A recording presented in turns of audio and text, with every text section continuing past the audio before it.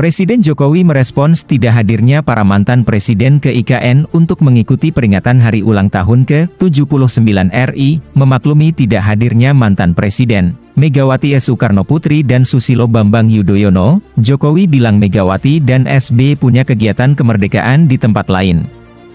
Diketahui 2024 ini, untuk pertama kalinya upacara HUT RI digelar di Ibu Kota Nusantara. Meski begitu, upacara HUT RI tetap dilaksanakan di Jakarta, sehingga gelaran upacara kali ini juga menjadi yang pertama kalinya digelar di dua kota, beda zona waktu. Semuanya tadi malam, renungan suci, kemudian pagi dan siang, dan penurunan bendera sore hari ini Alhamdulillah.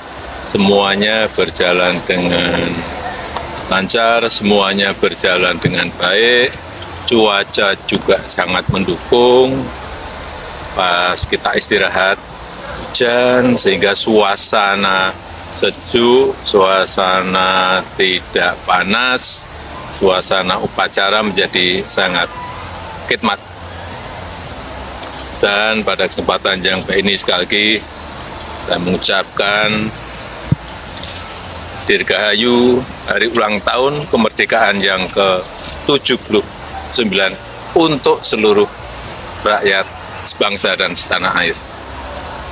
Pak terkait pakaian Pak, uh, ada hal yang berbeda di tahun ini di mana Bapak yang sebelumnya kalau misalnya sore akan memakai jas tapi untuk hari ini baju adat pagi terus sore juga baju adat. Ya karena sudah disiapkan dari sektor Kebetulan yang pakai.